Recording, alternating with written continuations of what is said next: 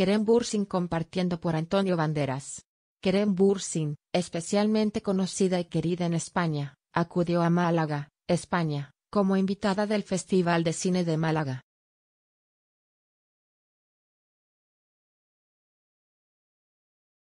Vio la obra del famoso actor Antonio Banderas en Málaga.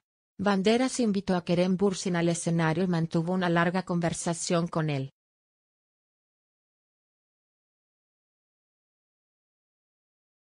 También siguió y compartió en Instagram. Kerem Bursin, que llamó mucho la atención en el festival, también charló con el hermano del mundialmente famoso actor español Javier Bardem. Kerem Bursin, que también acudió al famoso restaurante El Pimpi de Málaga, hizo firmar los barriles por los dueños del restaurante como otros invitados ilustres.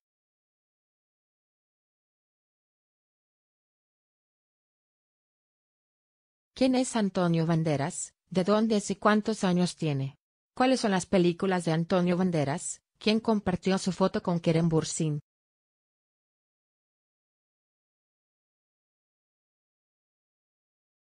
Antonio Banderas compartió su foto con el famoso actor Kerem Bursin en su cuenta de redes sociales. El actor de fama mundial, que destacó el éxito del actor con la serie de televisión Sensal Cap, se convirtió en motivo de curiosidad.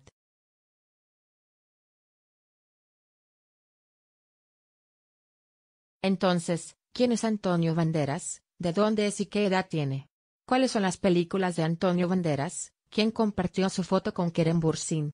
Aquí están los detalles.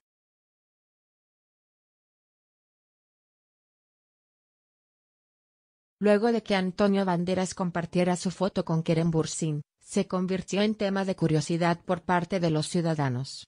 Se ha iniciado una búsqueda en Internet sobre el famoso actor español cuyo verdadero nombre es José Antonio Domínguez Banderas. Entonces, ¿quién es Antonio Banderas? ¿De dónde es y qué edad tiene? ¿Cuáles son las películas de Antonio Banderas? quien compartió su foto con Kerem Bursin. Detalles sobre la vida, biografía y carrera actoral del famoso actor están en nuestras noticias.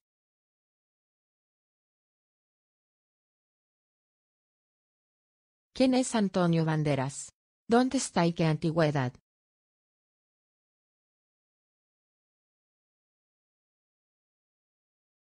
Antonio Banderas nació el 10 de agosto de 1960 en Málaga.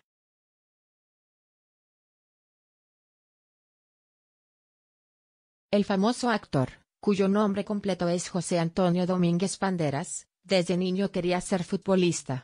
Renunciando a este sueño tras su lesión, Banderas descubrió sus aptitudes para la actuación con la aclamada película Her, 1979, de Milos Forman.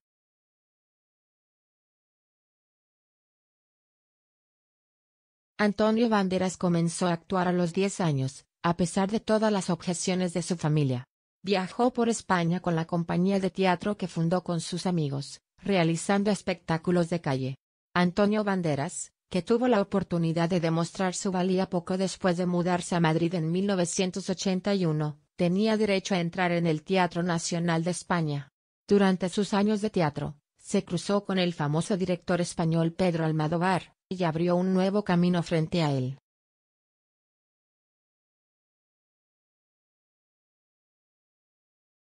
Antonio Banderas, quien protagonizó la comedia sexual del director Laberinto de Pasiones en 1982, tuvo la oportunidad de trabajar con Almodóvar en películas como Mujeres al borde de un ataque de nervios y La ley del deseo.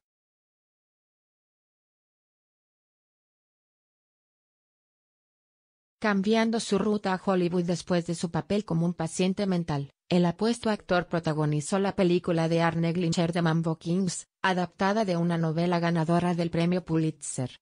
Antonio Banderas, que ha disfrutado interpretando personajes complejos a lo largo de su carrera, incluye La Casa de los Espíritus, 1993, protagonizada por Jeremy Irons, Meryl Streep y Glenn Close respectivamente, entrevista con el vampiro de Neil Jordan. Salma Hayek se hizo famosa con las películas Desperado, 1995.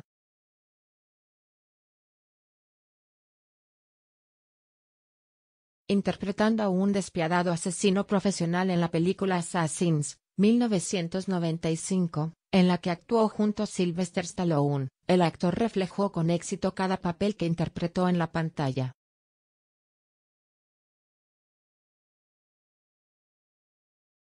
Antonio Banderas, que también participó en los proyectos de doblaje, interpretó el papel del gato con botas en la película de animación de Rec y volvió a recibir grandes elogios.